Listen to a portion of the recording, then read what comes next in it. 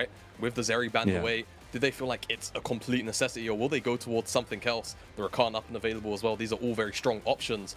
Jungle Pool, mm, largely untouched besides the Vi as well. So I feel like for EDG, Yeah. they do have their hands full, but it's about what they want to prioritize.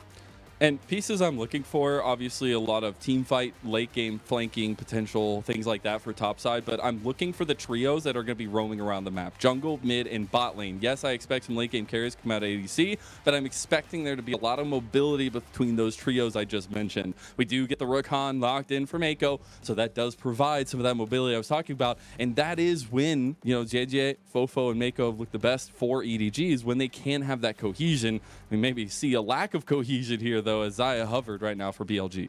Yeah, trying to split up the lovers duo makes sense. A lot of teams prioritize the 2v2 very, very highly, especially the level 1 is where I feel like the biggest danger point is if you ever end up uh, getting uh, W Don knocked up. The attack speed for both uh, of the partners there, it just makes the trade so oppressive. So BLG will snap that one up for Elk.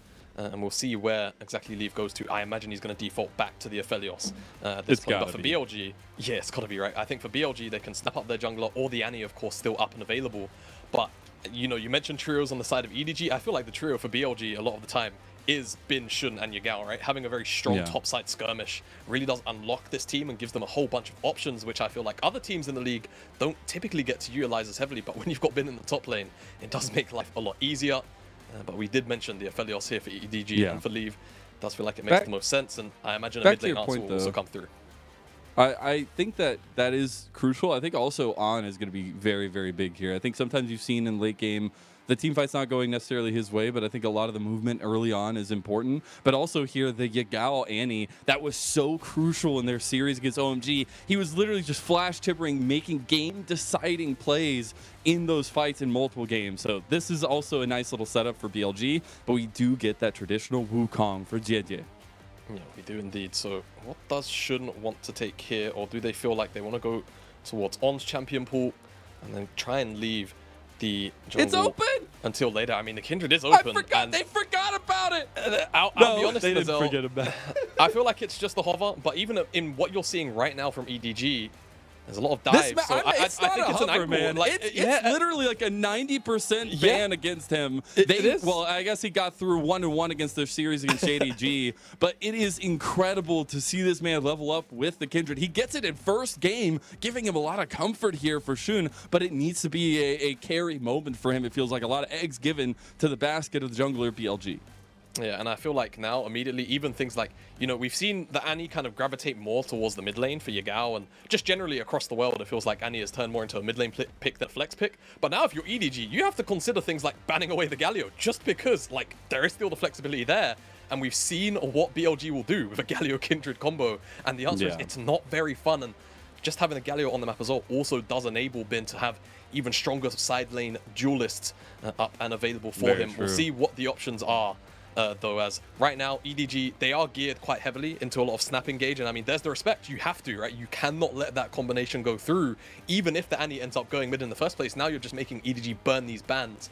But it's a lot of snap engage, and that's what Kindred definitely can thrive into, so long as she doesn't get blown up before she can press the Lamb's Respite, and then you get the opportunity to return so much damage, and there's so much burst already available Yeah. to return after that Lamb's Respite is actually finished up with his channel, right? The Feather pullback, Yeah, Tibbers, and, and he just existing, it's going to be a very difficult thing for EDG to have to navigate around as BLG continues to just is. focus down the mid lane pool.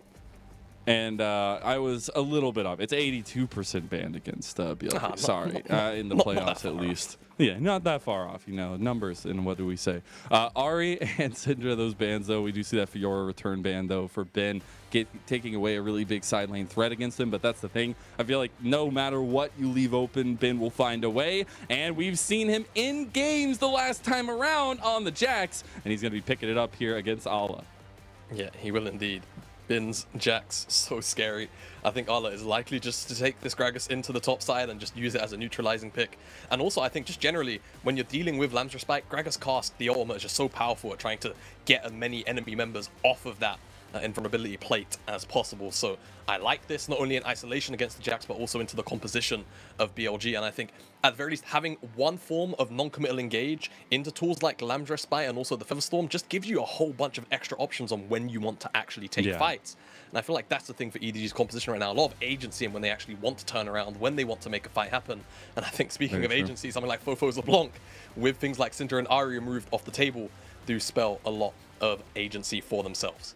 It is, and it's giving some of that cohesion between those duos and trios that we were kind of alluding to for both these two teams. But it is also a, a pretty big moment for Ale, who will have the Gragas, will have a lot of say in the spacing of team fights and trying to man mark at least Bin to some extent. We do get BLG's answer of the support in the Nautilus, so a lot more engaged there. And uh, I feel like we have a lot of that poke and prod that we'll see in the skirmishing in the early game to the mid game. Yeah, I think the mid game things are really going to come online, right? Uh, one item for a lot of these champions, quite powerful, but two for the AD carries is where I think uh, we'll get a lot of explosive uh, action. I'm really curious to see how BLG want to play around specifically the first Herald, right? Because I think to me, you've got a very strong skirmishing duo between the Kindred and the Annie, but on the opposite side for EDG, it's the exact same thing. So those first, you know, two objectives or so, going to be a lot of say on how these two teams want to prioritize generally neutrals as a Yeah. whole, but well, for this series. And here we go. Our game number one of our best of five elimination on the line. MSI on the line. It's BLG versus EDG. Our fifth seed versus our second seed. And we'll see who comes out on top, who takes that leg up in game number one. Jaio's ring for what I think will likely be a fairly lengthy night. And I hope everyone expects the same thing. Neither of these two teams want to go out in a poor fashion. Crowd's lively tonight. I love it. Yeah, I like it. JJ forced to level up the Warrior Trickster, but you take that over uh, getting dredge lined and maybe even dying in that instance because Yagao was there with the stun ready to go. I don't think it's going to impact his clear too much. As far as I'm aware, I think some Wukongs do actually take W first, or second rather, not first. But look at this, BLG looking for information. scrapping. Yeah, Scrapping for a little bit of early vision there. I love it from BLG. Try to get some upending of the strategy of EDG because I think when you look at both these teams, BLG have a switch to flick. It's either facilitation shoot, Ooh. which is, you know, works, or it's the carry shoot, which right at this point they flick the switch. Where DJ is a lot more that facilitator, at least we've seen grow into this split, and it's worked out so well when they get the resources in the right direction. yeah, it has certainly. I was thinking maybe Xun, because Xun was immediately dragging the red over towards the back of the Baron pit. I was wondering if he was going to go for an immediate buff to buff invade, but seems like it won't be the case. And actually, funnily enough, EDG have tracked that out. They've got a ward in the river to ensure that that Yeah. won't go down that way. Kindred level 2, very, very powerful uh, at just kind of, well, demolishing the enemy jungler a lot of the time.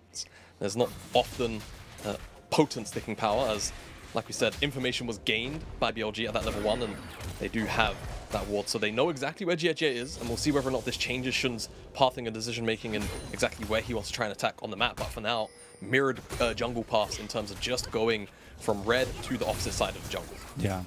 We got to see their first time play for Ale and, uh, on his Gragas. They answer into the 10 and 3 Jax for Bin.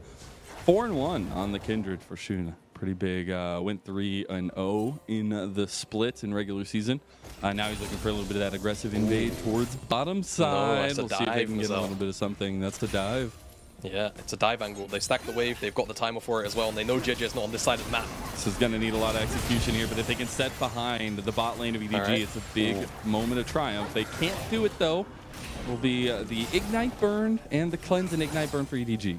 Yeah, I think given the posturing of how BLG played that, they were trying to maybe bank that on would only take one tower shot, maybe.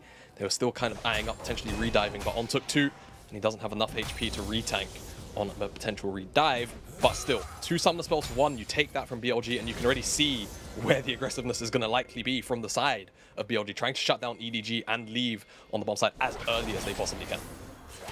And I think we see the need for proactivity on both sides in different ways. Uh, I think Xun obviously needs to be proactive for his own right, get these marks up for himself, but as well as Yep. Eh, it looks like he won the RNG. So you know, there you go. There's Good one thing omen. going for you Good o- good BLG. Good omens. Uh, the the sky is not red here, uh, but we'll see if they can actually do anything with that proactivity. Because on the other side, it is Fofo who needs to get involved with JJ. Needs to get this mid game going for himself because the LeBlanc needs to find an end. Yeah, definitely does. Now, Bin doesn't have Counter Strike, but he does have This is a Flash. little bit of trouble. I need to burn that flash here in the end. Might save it. Doesn't have that Wow. heal back. The counter strike available. Not gonna flash blast in the end. No, JJ! That's a solo bolo for the best top laner of the LPL Bin. Oh my god, Bin! I the the cojones, the turnaround of Counter Strike. It's all season long, baby. You Oh, gotta my bid for the God. cojones, it feels like, because this guy has been insane. Matchups that he feels like he should lose, he gets a, a dub in. Now we see 2v2 of the bot lane spurred by the early action of BLG. But incredible stuff in that opening does so much for BLG on the rest of the map. God, Giga Bin. That's all it is, really, isn't it? Now on the bottom side, like you mentioned, did give uh, Elkonon a potential window to get quite aggressive into Meiko and leave a little bit of a chunk taken out. For very least, Meiko does have sustain in the Rakan kit, but with the aggression, returns more aggression on the side of Xun, and now they're they're fishing. They're fishing Mazel. And They on. are. They got the He's there for it. as well. Flash on to leave. He's still got the dredge line as well. He's gonna lock in Mako, and that's two. Quick kill three for BLG. They're off to the races here now, Jamada. Ah, they're not letting the pace hold up at all. First, it's the top side outplayed. Now it's this bottom side gank. Xun even gets a mark for it as well. This is a real nice setup at the end of the day, I have to say, from Ale, from JJ, but they just don't quite have the damage. That last blow, and this is also why you pop your pots, but Bin goes back in with the counter-strike. It then brings JJ back in. I think he Oh may have had the crushing blow back up, but it's the creeps that finish him off after the additional tower shot. Down here, Mako does his best to try and you know, save his AD carry's life, tries to give over his life. Maybe if that Grand Entrance comes in, the lockup finds Xun, Yeah. he gets to actually walk out, but it's just not enough. And they find That's the two kills thing, on the bottom side too. The flash from On to set up the dredge line on the other end of the minions. There was just no hope of getting out of the lockdown they had. And that's huge stuff for BLG. They definitely have a snowball to play around now. Gold separate across the team, it feels like.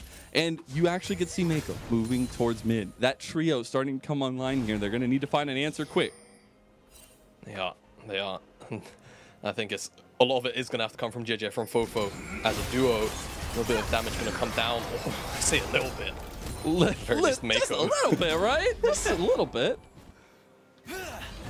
A little But bit that's scary. the crazy thing is uh, when we came into this, one, I was asking, you know, we saw when EDG didn't get the Zeri or the Aphelios last series against JDG, Leave was down and out, it felt like. They got the Aphelios this time, but it's the map as a whole that's Oh, kind wow. of crumbling so far. We'll see the double grab from down here and the pullback Leave stepping up to try to get some damage out of help, but he might have put himself in a precarious predicament here as the dredge line goes through the uprights. It'll be calm as a storm down here on bottom side. Yeah. On finds himself that field goal with the dredge Hopefully line. spotted out here. Just going to go back. And I think it's just going to prompt BLG to sit underneath the tower and maybe just kind of pump fake a reset for a second. But it's enough time to ensure that Fofo returns to the mid lane. In more cases than not, they clear out the wave super quick. And immediately, that small little window of pressure you have in terms of that roam just dissipates all the information already had by BLG. I'm just thinking about this the the potential step up there by Leave trying to get some damage on Elk. That is the thing about both these ADCs though, is we've seen such aggression from them throughout the regular season, but as well as in these playoffs, especially Elk, even in the last series, stepping up a lot of the time, playing very, very aggressively on the likes of the Aphelios. I'm interested how this Xayah plays for him because he's got a lot of safety with the rest of the team, but he's also got a lot of utility for the rest of the team. I think that's something for me that's standing out for BLG is they have so much lockdown. Yeah, they do, surprisingly. But I think it's kind of. I, I think it's going to be more based on how EDG try and approach the fights, right? I think to me, there's, you know, uh, the big tool in my mind is the Gragas and how they're actually going to play around, specifically the Lambs Respite in those team fights. And I think the other thing is whether or not uh, BLG are in front of an objective first. I think that's going to be very, very crucial for now. He's just, he's just whacking away.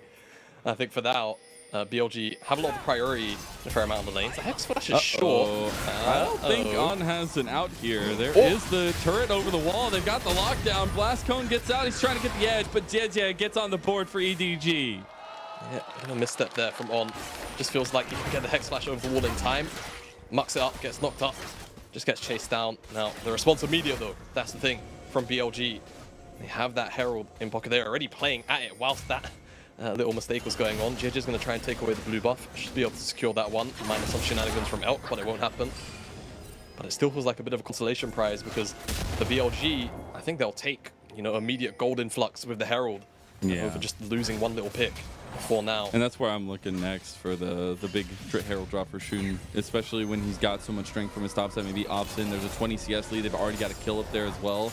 But you have the options to give out a lot of these resources. We'll see On get caught out here as well.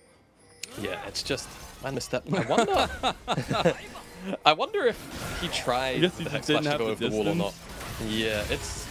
I think he. I it think it was takes a just second little, to charge the full distance, right? Yeah, I think he was just a little bit too far off the wall. Plus, like you know, like you said, there's that distance factor, so just gets a little bit unfortunate, a little bit too short on the uh, on the Hex Flash. And EDG will find their man, and I think they'll live happy with that pick for now. But they need to turn it into more, right? I think that's the thing for BLG. Whenever they've found a pick or uh, a play so far, it's resulted in you know something going on on the map, right? Yeah. And whether it's been the Dragon, whether it's been uh, the Herald, or even when Xun ganked the bottom side, regardless of it just being the two kills, it was also, you know, getting Xun further ahead in the scaling department just by getting the mark. So Yeah. I think EDG needs to try and find something soon. Not like the game's over, we're only 10 minutes in. But I think, again, like you mentioned, it's got to come from the mid lane likely, right? And Jit looking around. But just to clear out There's the a lot of hovering bot side right now towards this dragon. We've already seen the first dragon go to BLG. The thing is, EDG are typically the ones that are point and center for these objectives. We see, you know, already they are trying to get some vision here, contest over this engage from BLG. You got to be a little bit careful. On's getting engaged on so much. Xun getting low. That's the Lamb's Respite down. On is gone. But here comes Elk with a lot of the damage. The Featherstorm aggressively. And Bin has arrived to get a kill himself. This is a big play. They're going to TP back over to top lane to cancel out Olive's push. But that's Dragon for BLG and the kill. Yeah, it should be that Dragon for BLG. Xun's on top of it, and it's just a really good roam timing from Bin. Gets the wave shoved in, opens out through the mid lane, and he knows he can teleport back to the top side so long as the fight is short and he's healthy enough. And he makes everything work. Gets the kill, gets the wave on the top side, and secures his team Dragon. Excellent stuff from Bin and Ale. It's just too early in the game, really, to answer with a teleport. There is no unleashed teleport. And he wouldn't be able to respond in time. And Straight to bot lane. Straight to the bottom side of the Herald. He give where the Elk the call goes. resources. Exactly. And it's just starting to go a little bit from bad to worse here for EDG. They've still got the engage options though, so I won't write them off just yet. But this is a lot of gold to give over to three late game carries inside Yeah. of a Jax, a Kindred, and a Xayah. It starts off with the engage. The rotation is first from EDG, but the issue is, as soon as Bin shows up, and then eventually Elk as well through the bottom side, it just it's just too much for EDG to handle. They're not able to burst down a key target in time. Yeah. Sure, they remove on, but it's not like they actually execute Xun or Bin or Elk, and they're able to get the DPS out over time. And I, I know we were talking a little bit about mid game when we were coming into the game because I think that's where EDG specifically really come online. But it was still that question of needing Fofo to have some advantage, have some resources there on the blocker. You're going to feel like you don't have any in here against this composition from BLG because as soon as you step up, you're getting CC'd down and taken out. So now I feel like the objectives are going to be a little bit more difficult for EDG to approach, but they definitely don't want to give BLG any more pressure around the map. So I, I'm looking for a kick up in proactivity in the next couple minutes, at least from EDG. Yeah, and they've got the tools, right? They've had them since level six. Uh, Got Divine Sunder on JJ at least, but that's a Gale Force complete for Elk. Yeah, exactly. Gale Force.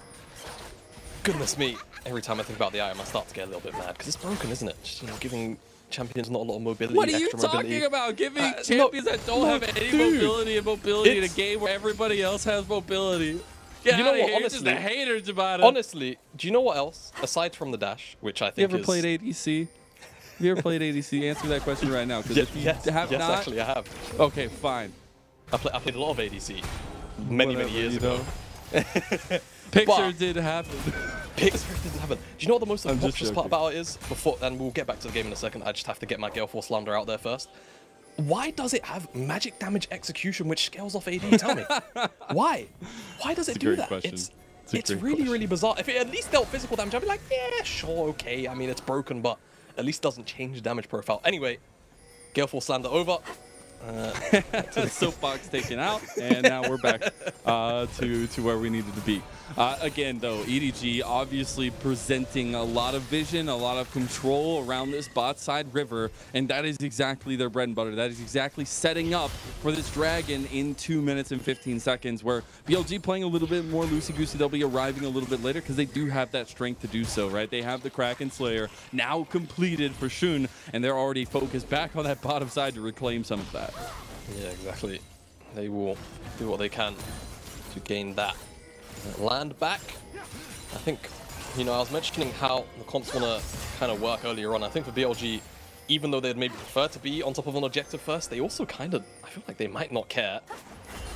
Both these teams eyeing up something around the bottom side. Xun can get on top of Jia Jia, can oh, on close got the gap. Fofo over here. My goodness, that Kraken Slayer damage does a lot. They're TPing Wow. Yagao down here. Make Huh. sure they can have a little bit of presence. Make sure EDG could not collapse around them.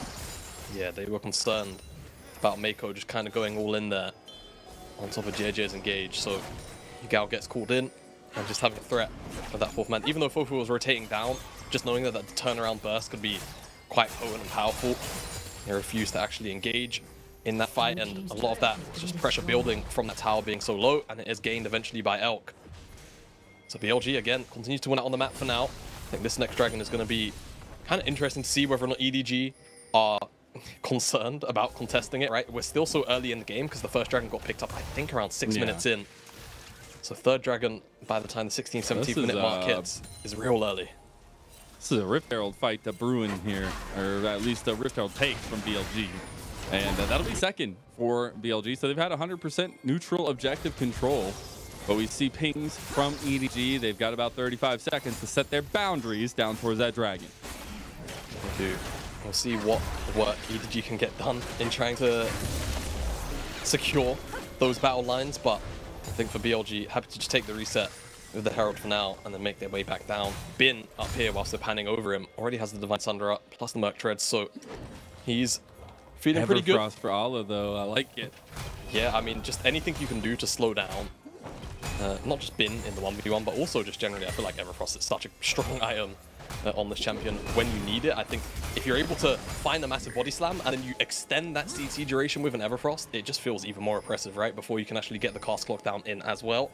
Look at We this. said battle line draw. trying to get a catch up beforehand. Oh my goodness. Fofo Wow. is pumping out some damage now. As uh, able to get a poke down on on before the dragon spawns. That should mean that EG are able to claim this one. They'll do their best to get the start off at the very least. I feel like BLG should really be looking to try and contest this.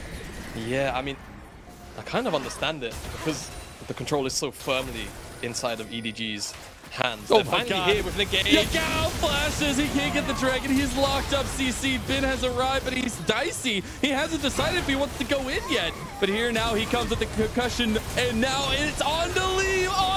Kill. They go right back on a shoot, but he pops the Lamb's Respite. Elk is able to stack up a lot of these feathers. Bin takes down all on the side, and they can't even get Xun. That's Elk with another kill, and BLG come out on top.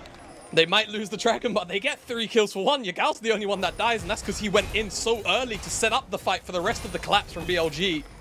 BLG went out heavy-handedly. Bin is down here. I don't think he's going to be in much trouble because he's got on just shadowing him off in the wing, so he'll just walk away after collecting a little bit of a chunk on that tier 2. And BLG, I mean, I, I do feel like it's a bit of a curious decision to not full-blown commit a little bit earlier, but I think it speaks more to the control that EDG had in the bottom side of the river at the time, plus on having to come out from base after being chunked. So a couple of things falling in place for EDG to secure this dragon and stop the snowball, but the engage from That was the early cleanse there. yeah, I mean, even though Yagao kind of sacrifices his life, it keeps EDG in a position for the collapse to actually come through. Flash depth charge, flash, counter-strike as well to lock Leave in place. He can't go anywhere. Real nice turnaround from JJ to actually force out a Lamb's Respite on the top side. You would have thought maybe he would try and escape through the bottom side of the map, but just kind of sees an angle and Oh goes my for it. So sad that he can't find the damage onto Xun. But the out thing either is, way. is, as soon as that cleanse went down. It was all in on to leave. BLG know exactly where the carry lies right now for EDG. You see that damage from Bin? That has been a constant all season long, it feels like, but especially these playoffs. This man has really risen to another level, and we'll see his top play. Well, maybe uh, he's not there. Get a little bit of love over to Fofo. BLG will be collapsing on now. Should be a Yeah, little bit of a tricky situation. He's going to try to flash, get out, but the Timber stun is there.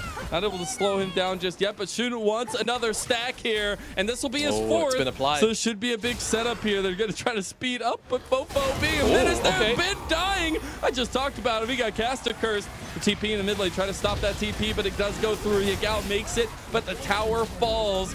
Xun able to finally get Fofo, does get that stack, and BLG trying to respond after their mid lane tower got taken out. Yeah, I like that from EDG. A little bit of snap judgment there, whilst they see this pretty, uh, pretty obscene chase from the side of BLG. You know why they're up there. They want the tower, and they don't even really get it because they focus on Fofo. So I feel like that's a fairly big win for EDG. But maybe in this turnaround, they're still going to get it in the extended. But it was quite hilarious. I think Did he end up getting it? Uh, I don't know if he got it uh, assist off of it, actually. Well, Xun has changed his mark over to leave. I guess That when might- the observers click on him. Yeah, I think I think They, when, they when will observers they will click on him. eventually click on him. Uh, we got a picture picture of that original fight, but now we'll see how Bin got caught out. Yeah, just steps a little bit too far forward. The Simple CC chain. Ooh, A little unnecessary. look at the end of that, You know, you know? Yeah, it's okay. no, no, no. Just, it didn't happen. It's cool. It's walk fine. away, walk away. uh, it's for the fireworks, you know. The- Aphelios really wants to be, you know, classy and give the fireworks for the moment. Uh, it is that turnaround though in mid lane. It is a catch out on Bin, which actually is super huge. Uh, and I do wonder exactly how they utilize this now. They've lost a lot of pressure around the map. They have no more outer towers for EDG, and there's going to need to continue to be these contests around the dragon, especially in about a minute and 10 seconds here. Yeah, I think fortunately BLG weren't winning so hard where sometimes you see those really, really insane games where a team just like completely stomps the other side, they take all the structure before Baron spawns, and then there's that brief kind of window where there's not really much coordination. A lot of teams don't often get to play such a wide map so early on. But I think the fact that the Baron's up and the Dragon is spawning at this time should kind of give BLG a little more uh, direction now again. As I feel like maybe, you know, taken aback by that sequence of plays. It was a little bit disgruntled, but I think they will now focus their attention back towards the Dragon. They gave up the last one, I think, almost a little bit unnecessarily, but contextually it made sense with how things played out on getting chunked out and just generally being second to that bottom side, having secured the Herald now. They're winging this Death Rush, JJ. Oh, they will get a catch out here, though. He does have his clone. A lot of Okay. that preemptive damage going down there. Leave stacking Whoa. up to get to that Caliber Mala. A little bit caught out here. Now Elk in trouble against Fofo, but he's stacking up those feathers. The clone, or at least the mimic. Now Yagao goes in over the wall. They've tried to find Lee, but they can't get him. Fofo picks up one. There's two down for BLG. Here comes the Lambs respite, but it's not enough at this point. They're going to try to flash out. The chakrams are stacking. He tries to go in. It's a triple, and Elk will decimate a population. Population EDG with a quadra kill for the ADC and BLG. Elk turns on the burners, and it's about the back end of that fight. All the members turn back around to deal with Bin, who's found the turnaround onto leave, but no one's hitting Elk as he pops the Feather Storm and just rips them to shreds. They'll get the Dragon as well off the back of it. BLG just decimate EDG. It looked so good for a second as well. They were fighting inside that choke. We'll get a look at it now as it all starts off with this engage onto JJ. They try and find the pick. Depth charge actually gets Look at Elk on the Warrior. Trickster. But yeah, exactly. Elk untouched for so long. I think Ale was maybe looking for him, but then figures out he's not there, throws out the cask, forced to go back over the wall. But then it's about this engage inside the choke. Fighting in chokes often very difficult, and it just feels like they're getting kind of minced by so much extra damage. But on the back Look end, at all no one is up. Elk. And yeah, exactly. The feathers stack up. The Lamb's Respite buys a lot of time. The first pullback murders Ale. Goes in, kills the oh monkey, and he's just able to get everyone because the focus is on Bin. That was a penta. Oh wait, should That should have been a penta. That should have. He just stole that Wow. man's pentakill. I, you know, I, you know, sometimes, Sometimes you, you question mark ping your uh, teammates. Maybe there's a question Oh. mark ping coming in now, but they're TPing in. BLG want this. EDG have realized that they are the prey. They are no longer the predators, and they need to run away. JJ goes down. Xun gets another kill, and the rest of the team will make it out. The sacrificial lamb has been given over to Billy Billy, but so will the Baron if they're not careful. Yeah, I think for that BLG team fight that happened at the Dragon, that was the emboldenment that they needed to move forward. They find the pick onto JJ up in the top side. Bin again. Just finds multi-man counter-strike. It turns into a Baron off the back of it. And now this is where things start to look a little bit doom and gloom for EDG. Just because BLG right now, they're just working on so much momentum. As it's just that ward that maybe The spots a couple vision, more members, I imagine, Yeah. as they rotate in. BLG's Yeah, been picture so good picture. at vision. They have. They really, really have. I think uh, the the biggest thing for me, obviously, the vision control, the control around objectives have been huge for BLG. But man, Elk coming off of being probably the brightest spot, at least for me, on Ultra Prime last year, coming to BLG, yes, having a little bit of a rough and rowdy early part of the split. But this man has been super saiyan in the playoffs, in the late season push, and he is somebody that they have been able to consistently rely on as soon as that 20 minute mark hits to be the carry, to be the big guns, and he's sitting at 6 0 and 6 in game one. Not bad. Not a bad opening game to go out into EDG against. I don't think anyone needs any reminders about what this game and series rather means. Spot in the finals Oh. rematch on. Is it He a tanks it all play? up though. Look oh, oh, no. Meiko has dipped out, but Leave gets caught out by the depth charge that was connected onto Meiko. The TP comes in from Ale. Dredgeline will not connect. BLG Oh. should back off. That could have been real awkward. Meiko ate the depth charge, but then dashed all the way back to leave and brought the knock up with him. Oh, could have been oh, devastating. Fofo. That's so close. The Gale Force had already been used, but Fofo is heading back to base with his tail between his legs. Yeah, manages to make it out alive, barely. Very Cape fortunate. That's between three and a half. leg? I don't know. Tail, tail between his leg. Cape. There's yeah. no tail on the block. You she, she's got like a what? What's the the thing she holds? Like a like a giant cane. I, I don't know what the. Well, You know, the Steve, star. Uh, as now BLG, yeah. Speaking of staff, Void staff is completed for Fofo. Ooh, uh, we we will see BLG continue to press up. They have another minute on this Baron here. They see a lot of pressure in mid and bot. This is the tried and true method of BLG once they have control around the map. We've seen it consistently from them here in the playoffs. We have just splitting up the Baron. Bin can bring multiple members down. There's only 45 seconds left, so I don't know how much this siege is actually going to grant them. But oh, dredge line. A little bit of a sticky problem there. Fofo's gone. Yeah. And now you don't have that mid lane pressure. You don't have the attempt of the LeBlanc onto any backline members. That immediately sees all that control gone. And BLG are taking down a mid inhib. They might take down Ale here, who has to flash away. The jaws are closing quickly. Yagao says, let's go ahead and shaft those strut, as that's huge for the engage. And now the follow-up on the Jiejie. Bin gets another kill for himself. and That'll be an inhib going down here. Elk wants some more, and the Feather Storm has wrought just that to EDG. I asked only 30 seconds ago, how much could they really get from 40 seconds of a Baron? And the answer to that question is the bloody game. Everything. They're going to take game number one and move up 1-0 in the series. We said the jaws close shut and it's a death roll. Oh They'll My lead with him. Lamb's Respite is going to keep Fofo alive, but BLG will go one up in the series. a statement game number one from BLG. Now, in the past, we have seen them give up big leads. We've seen them have scrappy series, but this game, it was start to finish BLG. They got those three kills early on. They were getting marks for Xun, and it was just a level up. Bin in the side lane on the Jax. It feels like you cannot take away enough champions from this guy. And no matter what, even if Very, even if Aphelios are taken from Elk, he has seen that he can be the carry on any of these late game carry picks, and even the Lucian in his last series. I think EDG are going to have a lot of questions to raise to themselves, and maybe try to find a little bit of comfort going into game two.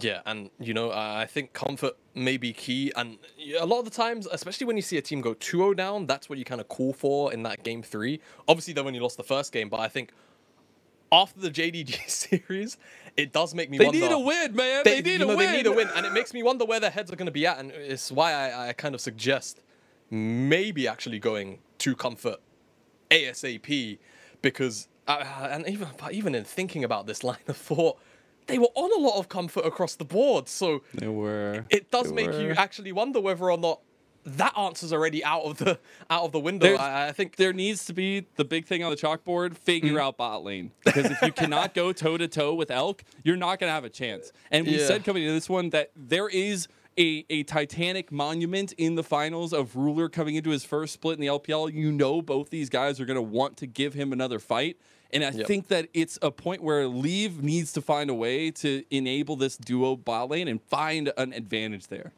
Yeah, and uh, I just feel like for EDG, in terms of trying to be a successful, you know, team fighting team in the mid game, it has to be, uh, you know, set up for Leave to actually have the resources in the early game, and it felt like BLG had a good read on that. So immediately we saw that level three dive be set up, right? They they went for the level three dive, even though they didn't necessarily get, you know, kills or hell even even flashes, right? It was just, uh, you know, the cleanse. That was enough to then make a return play a couple of minutes later and pick up the two kills, whilst Bin was already individually winning on the top side through a pretty ballsy outplay.